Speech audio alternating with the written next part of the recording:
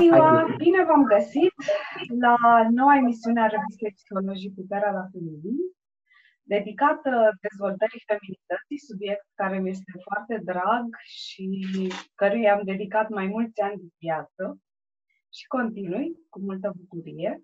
Îi am alături de mine pe Mihaela Danciu, uh, consultant, coach și facilitator Legal Serious Play și Design Thinking, cu formare în espere și Solution Focus Coach.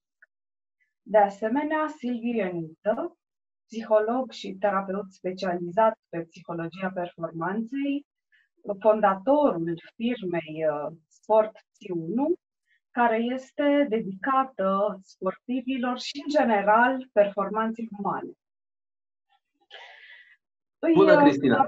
De mai Bună, mult că sunteți alături de mine și aș dori să vorbim despre acest subiect fierbinte care este destul de mare actualitate. Se vorbește despre feminine empowerment, girl power peste tot în lume, Oprah, Beyoncé, toate actrițele, au tot de discursuri uh, care acum sunt și alimentate cumva de anumite anumite atitudine un pic misogină a lui Donald Trump, care e foarte uh, provocator de reacții de tot soiul. Dar dincolo de ce apare așa general ca și curent media, este o problematică foarte profundă și importantă. Cum ne punem în valoare, ce reprezintă cu adevărat feminitatea, ce este puterea feminină, ce e puterea socială, ce e puterea personală. Și lucrurile acestea încercăm să le abordăm acum, să le deschidem deocamdată în cadrul acestei emisiuni, urmând să le aprofundăm în următoarele. Silviu, tu ce părere ai apropo de acest context care merge atât de mult pe valorizare feminină? De ce a apărut părerea ta, ce ai observat, ce știi din practica ta, din experiență și inclusiv perspectiva ta masculină. Da, cred că cel mai important este faptul că noi ne, perce- ne pierdem percepția realității prin simplu fapt că trăim vremuri care se derulează cu foarte mare rapiditate, pe repede înainte, pe fast forward și uităm de fapt niște etape care au fost uh, sărite sau poate scurtate foarte mult că dacă ne gândim la această putere feminină și la empowerment, de empowerment-ul femeii în epoca modernă, deja vorbim de primele lucruri care s-au întâmplat prin anii 40-50, când, dacă stăm și ne aducem aminte, abia atunci femeile au, luat, au primit dreptul de vot în Franța. O, o democrație și un etalon a tot ce înseamnă Occident. Ceea ce ni se întâmplă nou acum este așa, ceva foarte rapid, ceva care vine și câteodată mi se pare de la sine înțeles. Dar dacă ne uităm așa sociologic, psihologic în spate, tot procesul ăsta este un proces foarte, foarte lung. Acum vedem femei care sunt președinți de stat, prim-ministri, uh, femei care au o putere fantastică, ceea ce nu se putea concepe, să zicem, acum 50 de ani. Uh, sunt perioade în care noi le trăim și cu siguranță lucrurile se vor accentua din ce în ce mai mult, mai ales că se pare că bărbații cam distrug planeta asta. Așa că trebuie oh! să lăsăm... O afirmație puternică venind tocmai de la un bărbat. Da, să lăsăm șansa și femeilor să, să spună uh, punctul de vedere și să vină cu altă abordare, o altă viziune despre cum ar trebui să, să decurgă această evoluție a oamenilor resimți perspectiva masculină ca fiind cumva mai uh, competitivă, centrată pe ego, pe câștig personal și cea feminină mai protectivă, profitoare, atentă la mediu? Așa am fost educați, dar în momentul ăsta nu mai avem acei bărbați pe care uh, reper, ca reper al arhetipului masculin, suntem pur și simplu ceea ce se și vede, suntem de o degringoladă a masculinității bărbații nu mai au reperele, au fost încercări cu acele, metro, cu acele tendințe metrosexual, lumber sexual, dar uh, în momentul ăsta s-a transformat în uh, acest bărbat care se merge la epilat, care merge să-și facă unghiile, care e mult mai atent la detalii cum sunt sprâncenele, cum să se macheze, deja cam ăsta e trendul. Iar aspectele masculinității, care, într-adevăr, pe care le știm, forță, uh, direcție, viziune, uh, reguli, repere, clare, principii, aproape că sunt duse. Eu aș uh, uh, face o trimitere la anii 60, când femeile au uh, început să fie active, au intrat în câmpul muncii uh, și apoi uh, m-aș duce mai aproape de zilele noastre, prin anii 80, uh, când uh, s-a a luat amploare mișcarea feministă uh, și când culmea, femeile au început uh, să se tundă scurt, uh, să opteze pentru costume masculine cu umeri cât mai largi, astfel încât să se poziționeze ca puternice, de fapt concurând cu bărbații, creând un sistem din ăsta competitiv, tipic masculin. Și de curând chiar discutam cu unul dintre clienții mei de coaching care mărturisea că tocmai um, această tendință a femeilor de a se masculiniza um, a avut uh, efectul opus. Da? Uh, în loc să le propulseze către poziții de top uh, management, după un istoric din asta, domnul despre care vorbesc este partener într-o companie de consultanță, să vă dau un pic de context, și acea companie de consultanță Constanța a avut uh, ani buni în frunte o doamnă mm, foarte masculină, foarte uh, volitivă, care avea o adjunctă la fel. Uh, și bărbații, bineînțeles, că s-au simțit amenințați, s-au simțit puși în umbră, uh, drept pentru care, în momentul în care uh, un bărbat a preluat puterea de la o reprezentantă a sexului feminin, în momentul de față nu mai există disponibilitate din partea managementului masculin da? Uh, să facă loc și femeilor. Deci, uh, reversul medaliei, când uh, încercăm să concurăm unii cu alții și nu să ne completăm, să ne polarizăm reciproc, potențându-ne calitățile specifice, cred că ajungem la, la rezultate nedorite și de o parte și de cealaltă.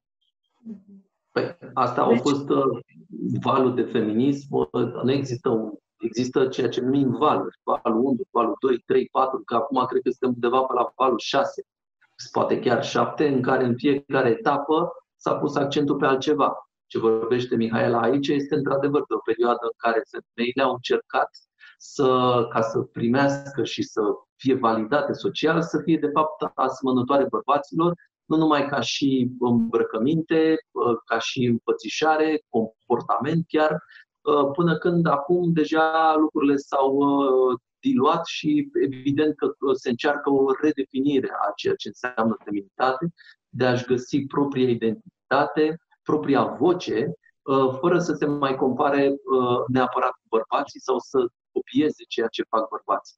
Uh, dar e foarte important și Cristina cu siguranță o să detalieze aici mai mult, uh, faptul că o femeie nu poate să se contureze decât în raport cu un bărbat, iar un bărbat nu se poate contura sau identifica ca structură uh, personală decât în raport cu o femeie. Pentru că avem nevoie de această polaritate, altfel pur și simplu suntem într-o confuzie în care pur și simplu încercăm să mimăm de la celălalt comportamente, principii, valori și nu mai știm efectiv cine suntem noi ca structură masculină sau femeile ca structură feminină. Și da. deci cred că... Da, Cristina. Continuă. Da, Asta observam și eu că e o, e o foarte mare confuzie de rol, de gen, bărbați care chiar își schimbă sexul sau poartă haine feminine. E de ambele părți cumva această translație către celălalt, prelund inclusiv aspecte care țin de estetic, în această încercare a bărbaților de a-și dezvolta sensibilitatea și a femeilor de a fi cât mai puternice. Totuși e o diferență foarte mare între puterea socială, cea de statut, de imagine, cea dată de bani și poziție socială, și cea personală, în care omul chiar se simte împlinit în relație cu sine însuși, împlinit, mulțumit, în armonie cu sine. Pentru că asta căutăm acum să facem. Să ne reîntoarcem la această autenticitate, că e ea feminină sau că e masculină, și să ne repoziționăm în legătură cu sinele nostru, cu centrul ființei noastre, poate de aici această dezvoltare a practicilor de mindfulness, meditație, tocmai pentru a ne readuce înăuntru și a ieși din această luptă și competitivitate socială care ne-a îndepărtat de noi înșine și de natura noastră esențială, profundă, arhetipală, născută și a creat atât de multe tulburări sociale și problematici relaționale la nivel de cuplu, încât un studiu făcut de Cambridge acum câțiva ani a relevat că aproape 50% din populația Europei între 35 și 65 de ani sunt single și locuiesc singur, poate chiar dacă au mai au o relație, bine mhm. relație de cuplu, de familie, bine așezată, și oricum, pentru mine a fost șocant să aflu că jumătate din cei care ar trebui să fie activi, relaționali și într-o relație de cuplu frumoasă și împlinitoare, de fapt, s-au refugiat fiecare în spațiu personal și nu mai sunt împreună, nu mai știu să funcționeze împreună. Și asta este îngrijorător, iar uh, revista Psihologii își propune să ofere și prin această emisiune și prin articolele pe care le conține tot felul de perspective, soluții, practici care să ne ajute să ne regăsim acest echilibru și să reînvățăm să fim împreună într-un mod armonios, să reînvățăm să comunicăm, să ne cunoaștem și să înțelegem cine suntem cu adevărat.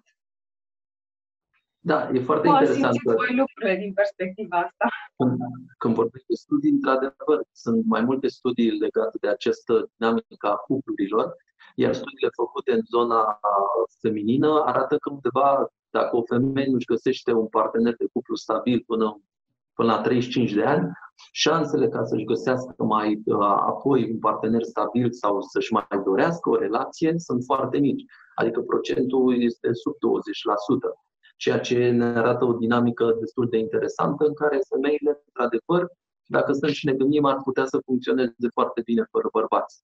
Uh, și atunci se ridică foarte multe probleme, inclusiv problema asta este ridicată în valurile de feminism, Uh, ce nevoie mai avem de bărbați, pentru că dacă stăm bine și calculăm tot, uh, aproape că devin aproape inutil doar în această perspectivă a reproducerii, dar și asta se poate rezolva cu băncile de spermă, cu inoculare și cu creșterea ovulelor și spermatozii separați și atunci lucrurile se rezolvă și din punct de vedere al perpetuării specii. Da, cred că e foarte important uh, că și noi, ca psihologi, și de la Jung și dinainte, s-a tot vorbit uh, sau s-a perpetuat ideea asta unui uh, a părții feminine și masculine din noi, a părții animusului și animei pe care o avem fiecare dintre noi, fie că suntem bărbați sau femei. Și atunci toate lucrurile acestea sunt, sau ce se întâmplă la nivel social și încercările de imitare, par așa justificate mai ales că la un moment dat au venit alți psihologi cu concepte pe care le știm promovate, cum că femeia este de pe Venus, bărbatul de pe Marte, adică o dicotomie foarte puternică, uh, lucruri care într-adevăr acum știm că nu sunt chiar așa, dar sună foarte bine publicistic și ca și uh, metaforă, inclusiv cu acel creier feminin și creier masculin care uh, toată lumea îl promovează, dar știm foarte bine din studii și cercetări că el nu există există un singur creier uman care, într-adevăr, expus unor experiențe, el se transformă. Uh, și aici lucrurile stau destul de simple pentru că, încercând să-și găsească identitatea, mulți cercetători au propus fel și fel de experimente, inclusiv ceea ce vedem și știm, uh, experimentul simplu pe care putem să-l facem într-un parc când mergem într-un loc de joacă și putem în momentul ăsta să spunem de la o anumită distanță cu o precizie de peste 90% dacă acel copil este băiat sau fată, prin simplu fapt cum este îmbrăcat sau cum se joacă. Da, băieții preponderent în culori reci, închise, negru, plămare, iar fetele în acel cu roz, roz pastelat care ne îmbie pe toți, jocurile sunt uh, speciale ale băieților cu puști, chestii care înțeapă, îi vezi prin copaci, iar fetele liniștite cu păpușele într-un joc de cooperare, unele cu altele strânse acolo ca într-un ghemotoc. Uh, toate lucrurile astea nu fac altceva decât să ne structureze și comportamentele adulte și să ne transforme în pattern de comportament.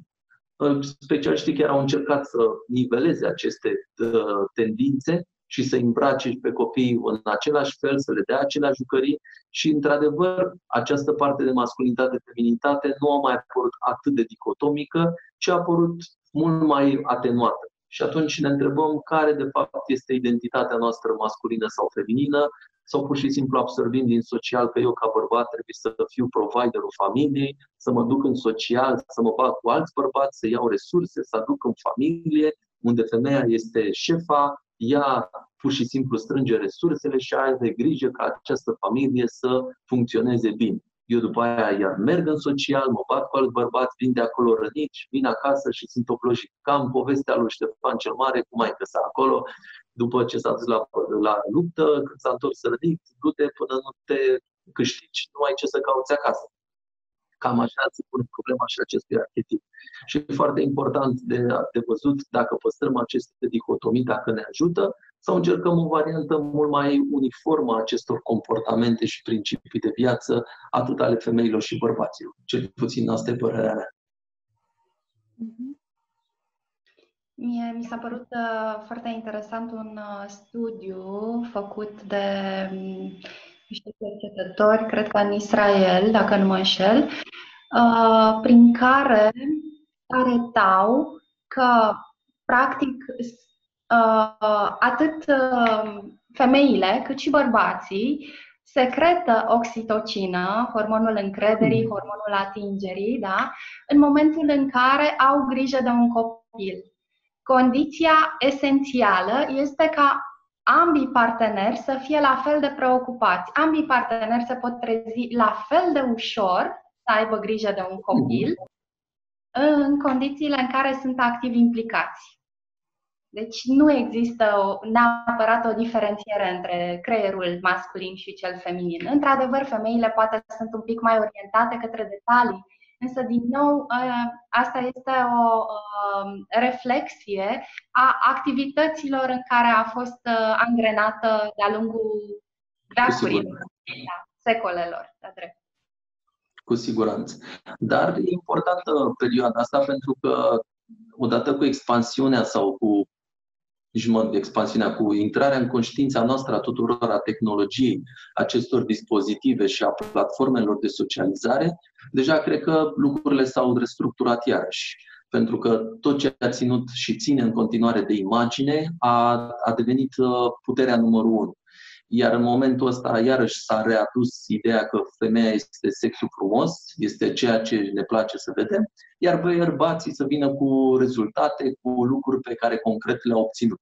Și dacă te uiți și faci un studiu pe postările unui băiat, unui bărbat și unei femei, o să observi foarte mult dinamica asta, în de a arăta da? și arăta bine, iar bărbatul să se laude cu lucrurile pe care le posedă, lucrurile pe care a reușit să le obțină mașini, uh, case, ceasuri, fel și fel de uh, adjutvanți ale sau ale arătării masculinității lui către ceilalți.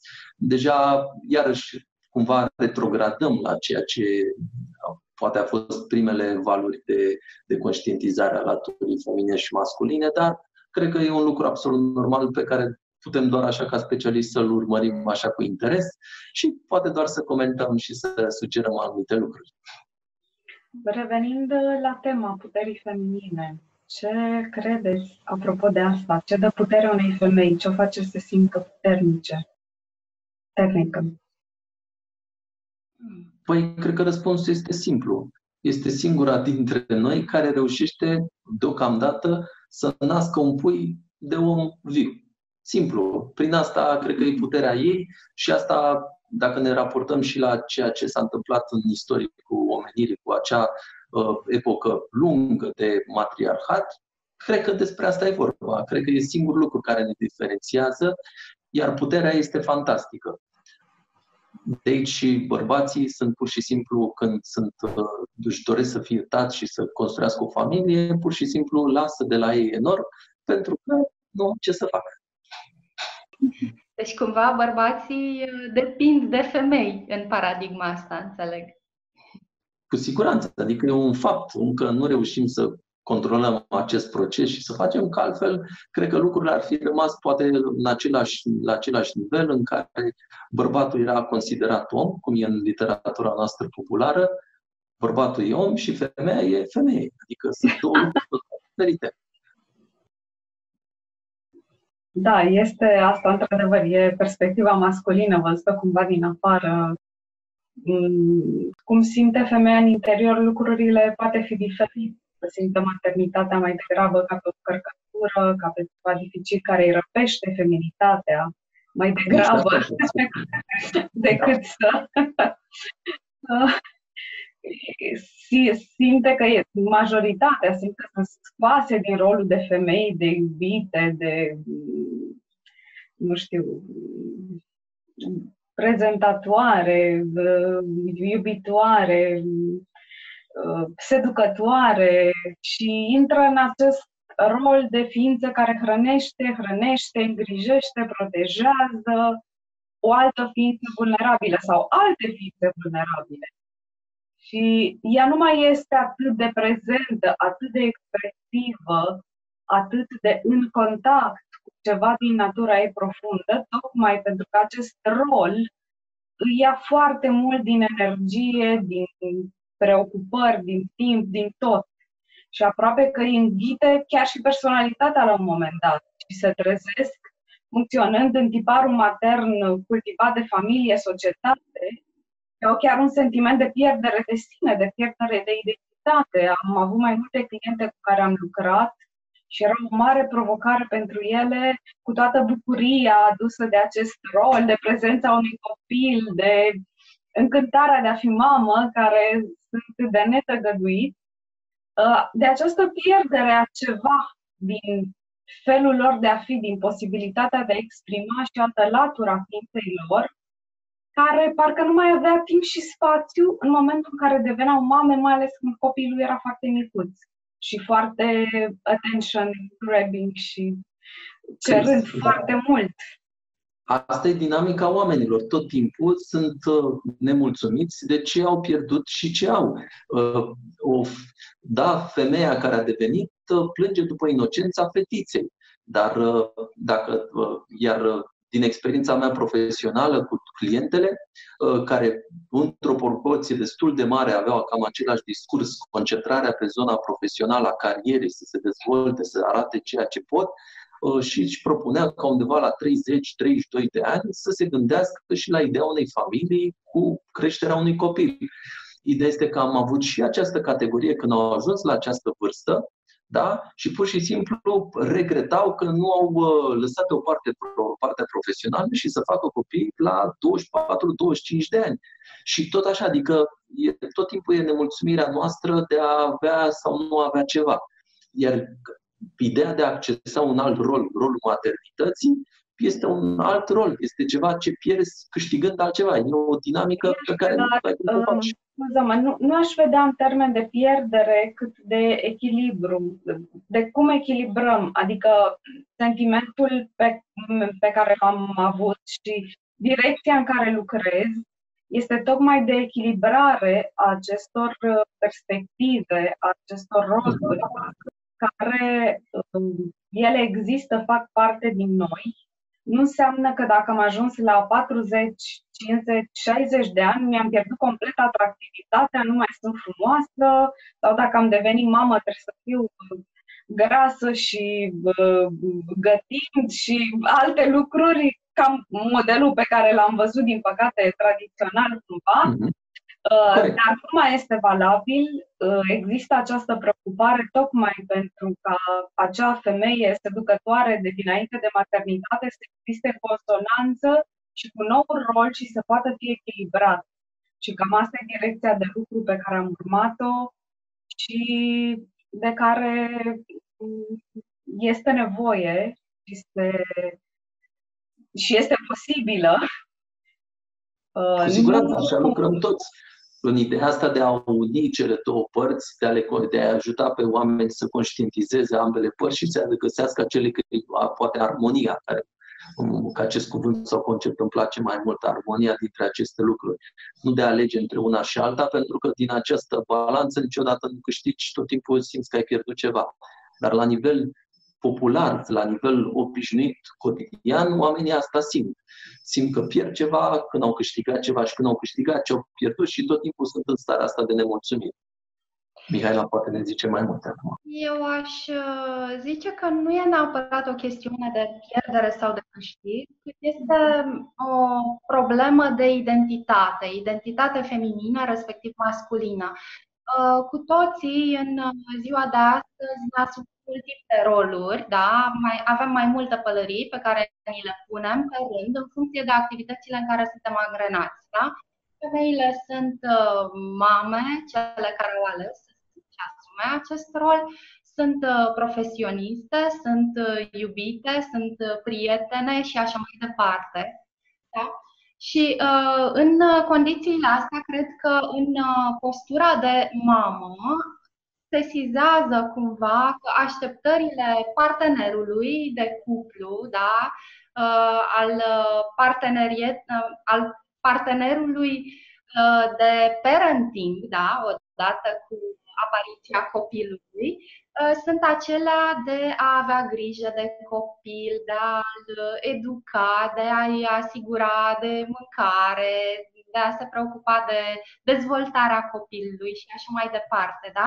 Deci, din acest punct de vedere, cumva, într-adevăr, subscriu la perspectiva Cristinei, ca femeie, că există cumva o, o presiune socială, poate derivată din uh, această mentalitate patriarhală în care operăm în momentul de, de față.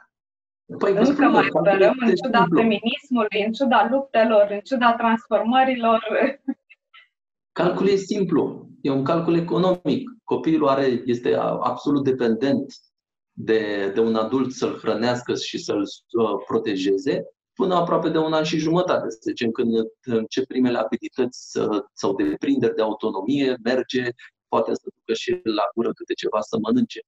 Uh, și atunci lucrurile sunt simple ce faci? Sunt femei care se întorc la muncă după trei săptămâni, pentru că altfel riscă să-și piardă jobul sau investiția de timp, de uh, studii, de, uh, de muncă pe care au făcut-o ani de zile, poate și atunci preferă să se întoarcă rapid ca să nu cumva să pericliteze locul de muncă, chiar dacă el este garantat cumva prin lege o perioadă, dar firmele, bineînțeles că ele sunt entități economice care au un singur gând și anume profitul, se gândesc la beneficiul lor și găsesc fel și fel de modalități prin care să convertească posturile și altcineva să preia responsabilitățile și ghiși ce, cum credem că nu este nimeni de locuit, Exact așa, se găsește o persoană care să facă lucrurile alea poate la fel de bine ca noi, poate câteodată chiar și mai bine. Și atunci există riscul ăsta.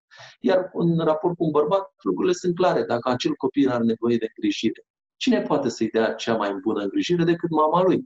Decât să plătim o bună uh, și încă nu știu câte, uh, de fapt acum e modelul cu mai multe bune, da, care se succed în ture, uh, ca să suplinească această nevoie feminină, Păi nu mai simplu mama să rămână și banii pe care ar câștiga în afară i-am da al cuiva și lucrurile sunt într-un calcul simplu. De-aia încă nu da, am ajuns. Asta este o perspectivă socială, cumva exterioară, cum ai zis și tu, calcule mentale și nu e vorba despre mm, țelul nostru până la urmă de această reconectare cu sinele, cu esența mai profundă, trecând tocmai dincolo de calcule și de tipare sociale și de mm, toate aspectele astea foarte pragmatice, raționale, dar care pentru sănătatea sufletului e posibil să nu fie la fel de benefice ca pentru bugetul uh, întrevăzut și inclusiv pentru sănătatea psihologică a copilului care nu are parte de hrană emoțională suficientă, adecvată din partea mamei lui și vine de la niște persoane cu care nu are o legătură biologică și psihologică atât de profundă precum este cea între mama biologică și copil și nu poate fi substituită cu adevărat toată valoarea și amploarea ei de nicio altă persoană și cum face, ok, asta este o nouă problematică, femeia profesionistă care trebuie să fie în acest rol de luptătoare pentru uh, beneficiul familiei, să-și păstreze totuși rolul de mamă și de iubită, fără să fie doar luptătoare și lăsând în seama bonei uh, atribuțiile de creștere a copilului, eventual uh, unei amante uh, rolul de iubită pe care ar trebui să-l aibă pentru tot, pentru că sunt femei care trec prin asta, am cunoscut și au lucrat cu ele, erau atât de, de uh, să contribuie, să fie Wonder Woman, să le facă pe toate, încât uh, toată energia se ducea foarte mult spre zona profesională, spre câștig. Și o prietenă spunea, chiar a ieșit din poziția foarte importantă din corporație pe care o avea când copilul ei, deja măricel, i-a spus Mamă, tu pentru mine ești un bancomat. Și a lovit-o foarte tare chestia asta, evident că nu-și dorea lucrul ăsta și a început să-și pună în agenda întâlnirile cu copiii, cu totul să fie mult mai atent, gândit și planificat, chiar dacă păstra această perspectivă rațională și uh, bine planificată, analizată, să fie cât mai prezentă cu sufletul ei acolo, nu doar uh, contribuind la puterea socială, financiară a familiei. Da, cred că, cum vă spuneam, perspectiva mea este poate așa mai dură, dar cred că ajunsesem într-un punct prin anii 2000, 2000 și ceva, în care ne preocupa mult mai mult de aceste aspecte sufletești. Parcă era un vibe și o anumită energie și o tendință. Dar odată cu intrarea acestei tehnologii și a dispozitivelor, v-am spus, de platforme sociale, deja cred că focusul s-a dus din nou și am retrogradat la ideea asta a imagini. Și acum femeile nu sunt mai, ca să fim sinceri, nu mai sunt atât de preocupate de aceste aspecte foarte profunde, ci doar de acest aspect de a arăta. De aia majoritatea și studiile care arată tendințele tineretului sunt de, în România undeva la 60% vor să devină vlogger, blogger, influencer. Ca, dar tot ce înseamnă imagine să transmită și cam ăsta este trendul. Deci, aspectul profund cred că s-a adus, iar aspectul social s-a transformat dintr-o chestie productivă într-o chestie legată de imagine și de perpetuarea unei imagini dusă până la un extrem. Mai avem vreo 10 minute din emisiune și aș vrea să ne focusăm foarte mult de ce anume putem face tocmai pentru a ieși din această presiune socială care ne înstrăinează de noi, pentru că există, cum vorbeam și înainte, și întotdeauna când e un curent, există și contrariul lui. Uh, și, evident, clienții noștri sunt persoanele care vor să lucreze cu ele, care sunt preocupate de viața sufletească, care vor să-și o dezvolte, care caută această armonie despre care ai vorbit sau echilibru, cum i-am spus eu. Haideți să vedem ce soluții practice, ce mm, ar putea face femeile care își doresc uh, foarte mult această conexiune cu viața sufletească și simt că pot să aibă mai multă bucurie și împlinire în viața lor dacă ajung să se înțeleagă și să își satisfacă și aceste nevoi mai adânci. Eu cred că în acest moment, pentru reconectarea cu ele însele, femeile um, ar avea mare nevoie uh, să-și identifice calitățile, atributele lor, uh, care le dau această căldură, acest rafinament, grație, farme, tipic uh, feminin. Și pentru asta aș uh, dori să le propun celor care sunt interesate de reconectarea cu latura lor feminină un uh, exercițiu pe care l-ar putea face în fiecare dimineață, de 15-20 de minute. Uh, pentru cele foarte autocritice nu le-aș recomanda să-l facă în fața oglinzii, poate ca un pas ulterior, Însă, pentru cele mai puțin înclinate spre autocritică, pot încerca și cu oglinda. Um, propunerea este de a vă gândi la momentele în care v-ați simțit absolut extraordinare, împăcate în pielea voastră, ca femei, uh, și cu invitația de a vă privi, dacă vreți, cu uimire în fiecare zi, ca și cum ați fi un extraterestru care nu a mai văzut în viața lui o femeie. Și în acest context, vă invit să vă gândiți la acele calități feminine de care sunteți mândră. Apoi, să vă gândiți la atributele feminine pe care le aveți și pentru care sunteți recunoscătoare. Și în al treilea pas, să luați în calcul acele aspecte pozitive legate de feminitatea voastră pe care alții le remarcă, dar pe care voi înși vă tindeți să le treceți cu vederea pentru că le considerați așa by default sau niște banalități. Și să în, puteți să și notați aceste trei uh, aspecte într-un jurnal, dacă vă doriți, de dezvoltarea feminității, uh, făcând așa trei uh, coloane pentru fiecare categorie. Și să vă propuneți să vă continuați ziua într-o stare de entuziasm, de bucurie că ați parcurs acest uh, proces interior care v-a ajutat să vă repoziționați să, în raport cu ceilalți și să vă recentrați și să porniți cu energia necesară unei zile frumoase. Mulțumim! Aș completa exercițiul ăsta cu încă ceva, pentru că uneori poate nu avem resurse să găsim în noi. Sunt momente de depresie, momente în care ne confruntăm cu dificultăți majore în viață, în care poate conexiunea cu noi sau încrederea în noi este foarte scăzută și atunci e mai greu să ne regăsim singure calitățile și atributele pozitive și avem nevoie de un pic de suport.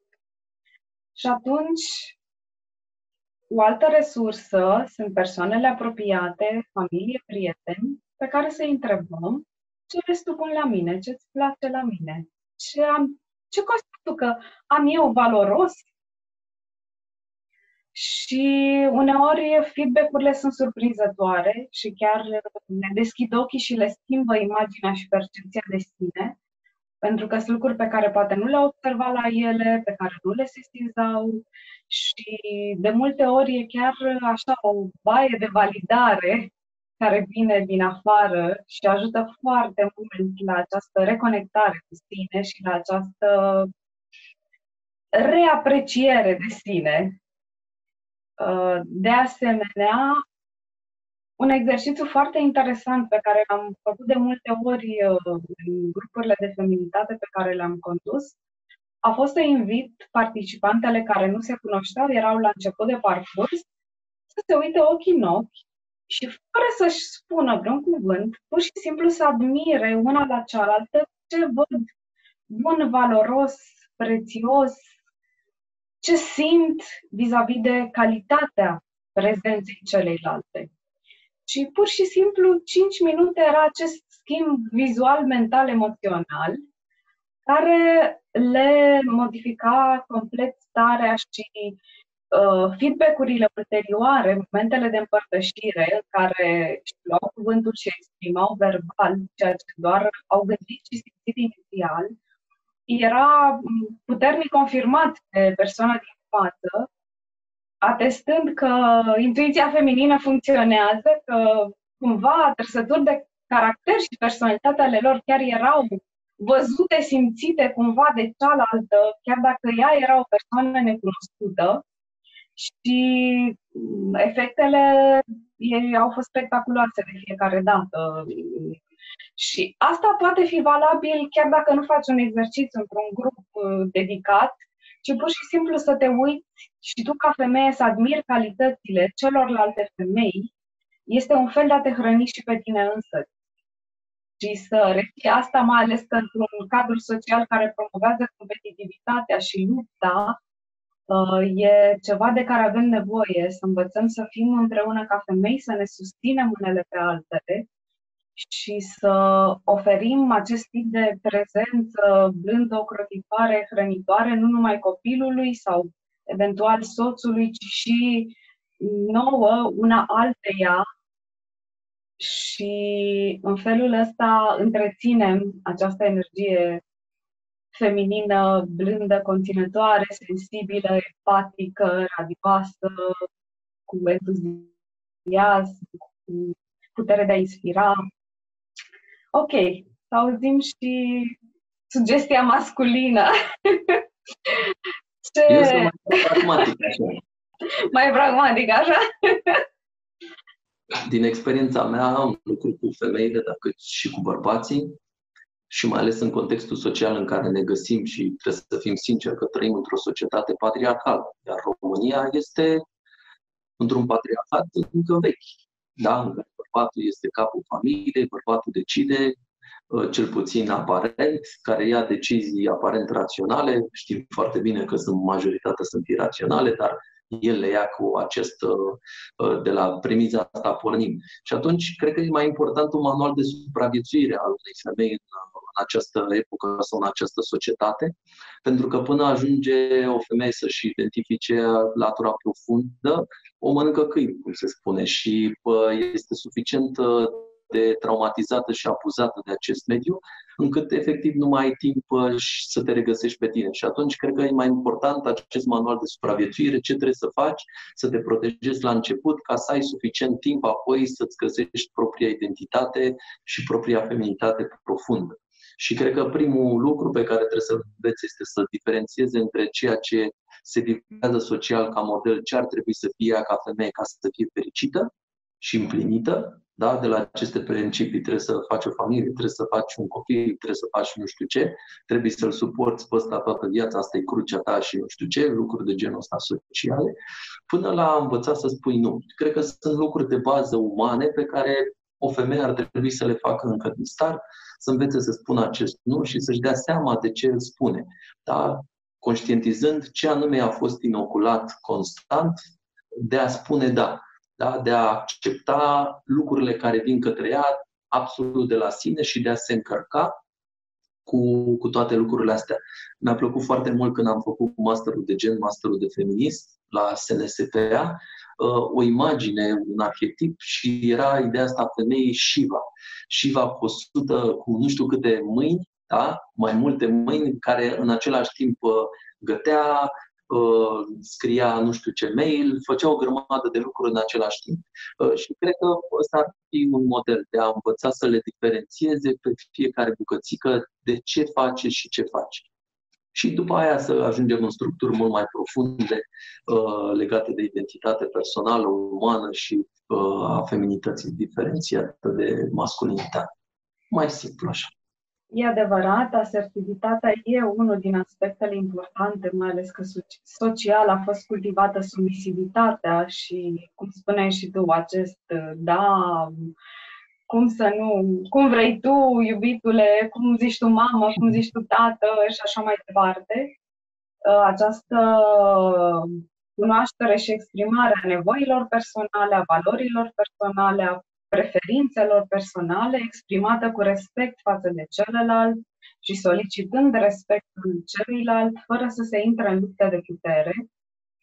Și mm, cu foarte mare atenție la granițele personale, pentru că de multe ori în, în cuplu ori e fuziune, ori o luptă de putere, ori acerbă, care duce tocmai la această înstrăinare și la toate conflictele și problematicile care țin de zona masculin, feminin și alte lucruri pe care le vom detalia cu alți invitați în alte emisiuni, Momentan le mulțumim mult lui uh, Mihaela și lui Silviu că au venit uh, alături de noi, că ne-au uh, inspirat în a deschide această tematică foarte vastă, cu multe, multe aspecte.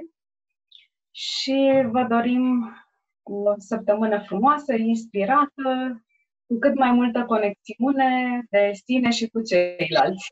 La revedere! Mulțumim pentru invitație. La revedere! Invitație, toate bune!